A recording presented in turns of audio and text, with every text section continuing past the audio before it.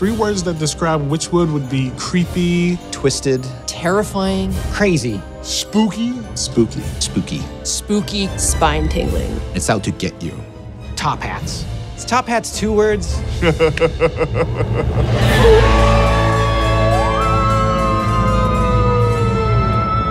In The Witchwood, we started with this theme. We knew we wanted to explore Worgen. There, they have this great fantasy of having two different modes that they go back and forth between. So that was where we started. How do we make an incredible Worgen set?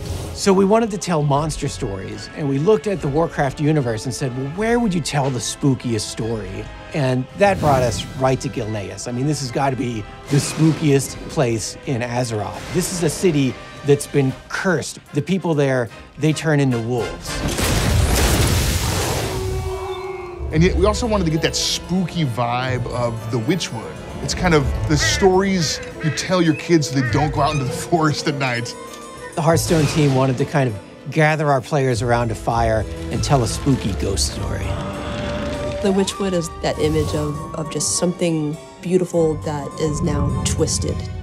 Be very careful because uh, there's some creepy things out there. There's like creepy things that hunt other creepy things. So if you're not one of those creepy things, you might want to beware. The Witchwood has over 130 new cards, and some of them I think are our craziest cards yet. It's Azalina Soul Thief. This is one of the new cards in the set. I'm line?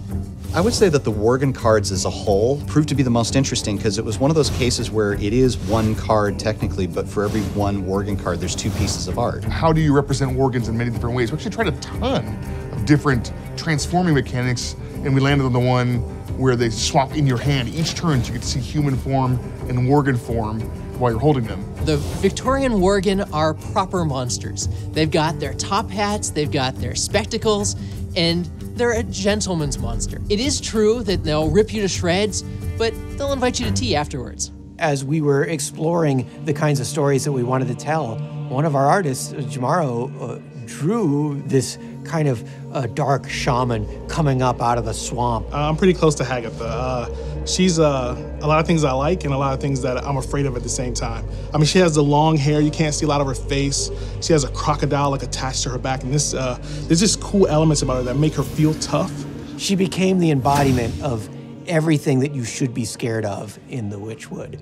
And we ran with it. There's one card in this set that was a huge challenge to implement. It's probably our most complicated card we've ever made, and that's the Shudderwock. Snicker snack! Shudderwock lets you repeat all of your battle cries. Now, on its own, that sounds fairly innocuous until you realize certain cards have really complicated battle cries. That makes for a lot of different considerations. How does all this play in such a way that it's done in a very speedy way?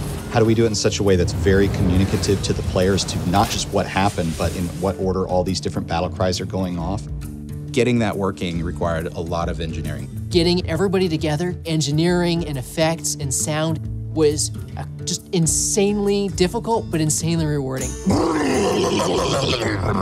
I would say The Witchwood is a great example of just how artistic a game can be. It was really designed from the ground up to feel as though it was art come to life.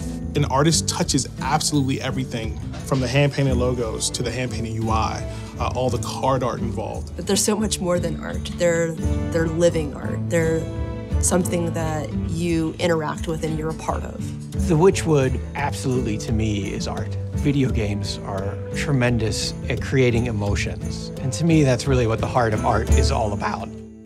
I'm so excited that the Witchwood is finally here. We've been working on it for months, and now people finally get to play with it.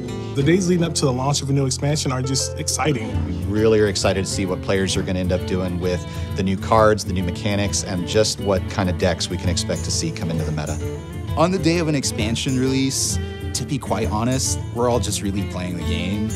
I can't wait to see Hagatha wreck some faces. It's too guys, OP! Guys, leave run, the camera! run, Run! Run! Course.